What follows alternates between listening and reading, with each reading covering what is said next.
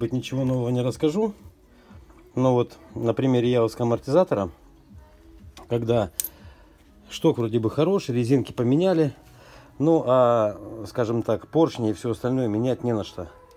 Понятное дело, что оно изношенное, есть моменты потертостей, такие вот царапинки. Соответственно, компрессия уже немножко не та. И гашение становится слабее за счет всех этих протечек. Поэтому в данном случае просто увеличим вязкость масла. Сейчас вместо амортизаторного масла я залью компрессорное для бытовых компрессоров. Компрессор Oil. Вот, по вязкости оно погуще. Э, если гашение не устраивает, можно залить масло еще гуще. Но моторные масла немножко по характеристикам не так работают. Они вроде бы как говорят, что кипят. Поэтому в амортизаторы они нежелательны. Правильнее всего сделать амортизатору полный ремонт. Но я же говорю, что вот такой старенький амортизатор исправно не течет ничего, просто слабое гашение. Добавляем э, гашение за счет увеличения вязкости рабочей жидкости. Самый простой вариант. Э, теперь что еще хотела сказать по этому поводу. Как э, узнать, сколько ж необходимо масла? Хорошо, когда есть книжка, мы знаем тип амортизатора, мы открываем литературу и читаем там Явовский амортизатор 50 грамм. Специалисты рекомендуют 55 грамм. Э, чуть больше масла появляется упор, не полностью заходит шток. Как бы вдавливаешь, он зависает в каком-то положении. Чуть меньше в гашении появляется провал. Ну, воздух, бум и удар. В общем, ничего хитрого в этом нет. Мы заливаем масло в сам стаканчик непосредственно, вот в котором работает поршень. Опускаем его, излишки масла вытекают, потом частично сливаем, одеваем до тех пор, пока не уйдет ну, провал.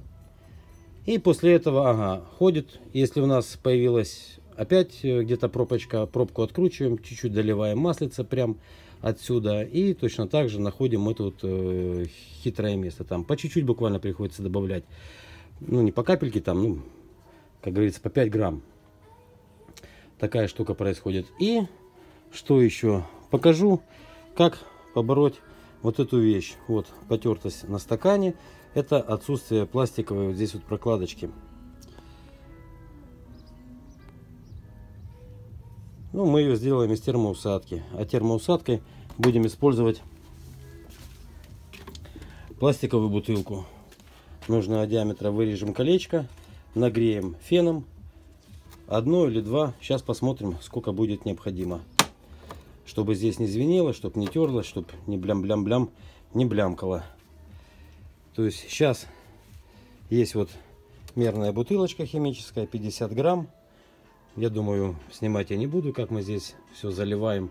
Одной рукой снимать, другой рукой заливать. Это не так интересно. В общем, я знаю, что здесь 50 грамм, поэтому я заливаю 50 грамм, собираю амортизатор и проверяю его на наличие, э, скажем так, упора, либо провала. Что касается непосредственно явовского амортизатора, Предлагаю вот такое решение вопроса с гайкой. Здесь очень тоненький захват. И такое что-то там не 22, 19, непонятное что-то. Ага. Э, поэтому я делаю это разводным ключом. Вот таким вот по размеру подогнал. Закрутил, раскрутил.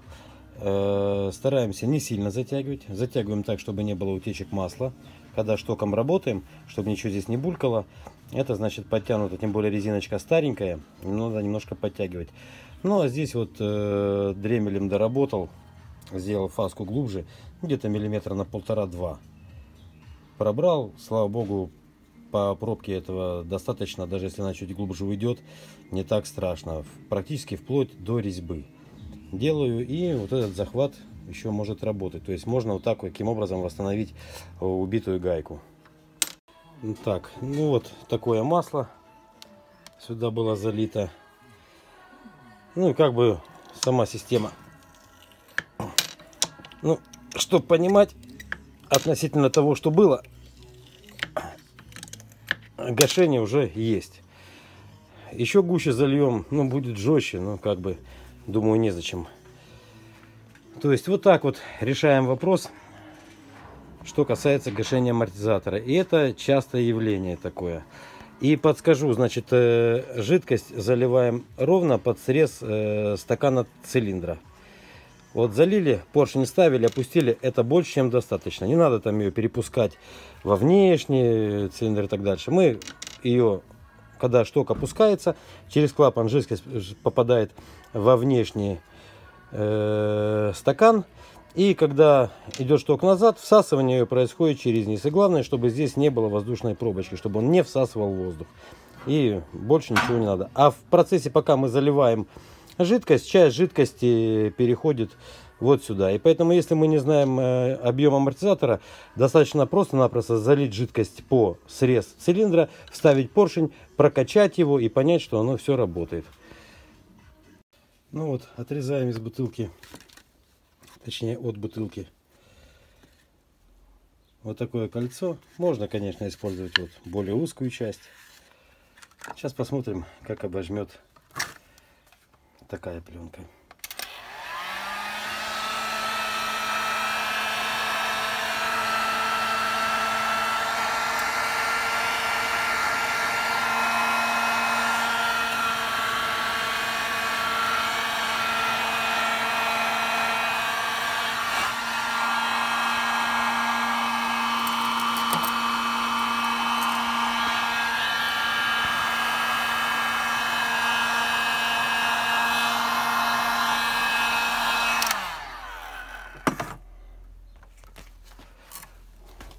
А. Ай-яй-яй. Дуже гаряче. Так, смотрим. Пленочка легла отличненько. Сейчас отрезаем еще одно колечко. Еще одно обжимаем. И сколько необходимо для нормальной работы стаканчика. Этот пластик будет работать четненько. Здесь изнутри, конечно, обрежем. Э краешек будет как раз ступенечкой не давать ему уходить вниз. Вот, в общем, такой вот лайфхак для ремонта подобных амортизаторов. Данная конструкция встречается и на ИЖ, ну там, неважно где, вот где блямкает, можно вот таким образом устранить шум, зеленчение его. Да, и когда будем собирать амортизатор, не забываем намазать пружину каким-нибудь ну, я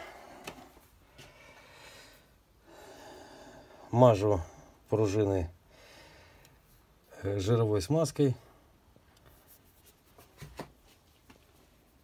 чтобы она тоже не блямкала. Смазка это на, на солнце не течет, мочмала нет, если солидол, что-то в этом роде, то будет вытекать. Поэтому жировая 13 смазочка вполне здесь работает отлично.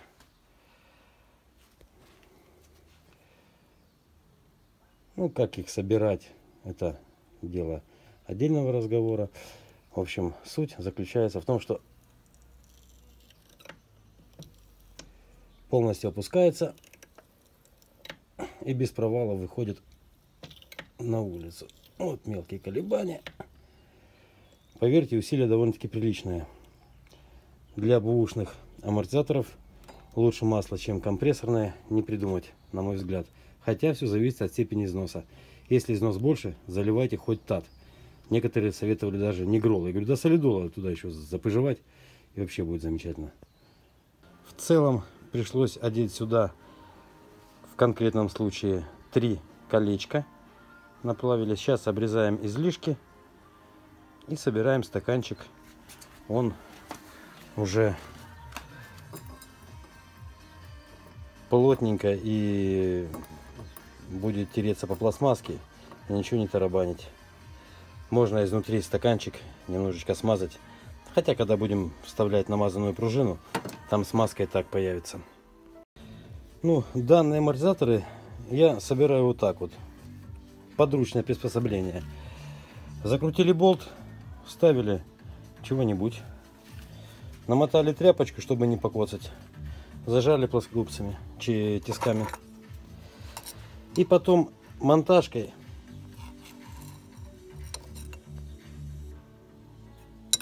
через винт тисков и вот таким образом, либо вот так для начала. Одной второй, понятно, тут двумя руками надо, у меня нет сейчас кума оператора. Прижимаем и вставляем сухари. Сначала ставили один, потом можно развернуть на 180 градусов и вставить второй. Все легко и просто, вообще проблем не вижу. Як я и казав, ничего складного тут не бачу. Вот они одеты. То есть сначала один сухарь задавил, потом развернул амортизатор на 180 градусов и задавил, установил второй сухарь. Все, кожушина не болтается, находится, ничего трогать не будет. Стоять он будет на Сузуки Sepia. Вот, на этом мопедике. Поэтому для красоты, чтобы нога была беленькая, хвостик был беленький, амортизатор мы покрасим черным матом. Покроем его, конечно. Хотя матюкаться на него сильно не надо. Ну, вот так вот. Я решил, что черный амортизатор без блестящих штук. Вот. А если потом необходимо будет куда-то применить эти хромированные стаканчики, они всегда отмоются растворителем.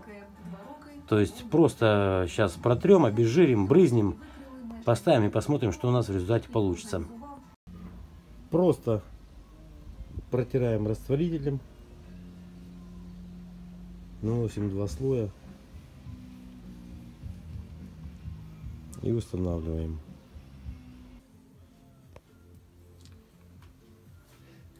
Амортизатор на месте. Вот такой черненький. Вот так издалека практически незаметно. Да, поставим хвостик. Будет видно, как оно выглядит. Это чудо Сепия ЗЗ.